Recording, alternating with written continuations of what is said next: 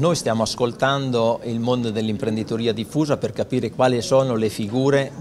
verso le quali dobbiamo portare avanti per, diciamo così, azioni di formazione professionale per poter poi inserire persone nel mondo del lavoro. Un eh, momento molto approfondito in questi ultimi mesi, in queste ultime settimane c'è stato per quel che riguarda il settore moda, quindi tutta la calzatura, eh, l'abbigliamento e su questo c'è stato un lavoro portato avanti dalla seconda commissione consigliare della Regione Marche che ha incontrato più volte diciamo, una serie di operatori, portatori di interesse, imprenditori, quindi sindacalisti eccetera. E da qui è nata diciamo, una, una, visione precisa di quelle che sono le esigenze di quel, eh, di quel, settore e su questo noi stiamo mettendo in campo una serie di eh, bandi eh, aperti, mirati proprio a quel settore, usciranno nei prossimissimi giorni,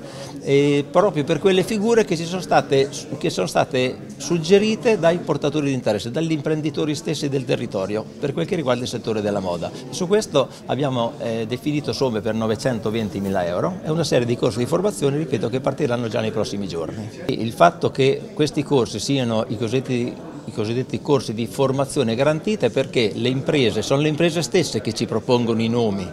di queste persone che noi poi inseriamo attraverso degli enti formatori accreditati dalla Regione Marche e l'occupazione deve essere garantita almeno al 50%. Quindi una persona su due di quelle che entreranno in formazione con questa metodologia deve essere poi assunta. Ma questa però è una base minima che noi poniamo come Regione. Io sono molto fiducioso che la formazione alla fine, l'assunzione sarà quasi completa per tutti i soggetti che noi intendiamo inserire.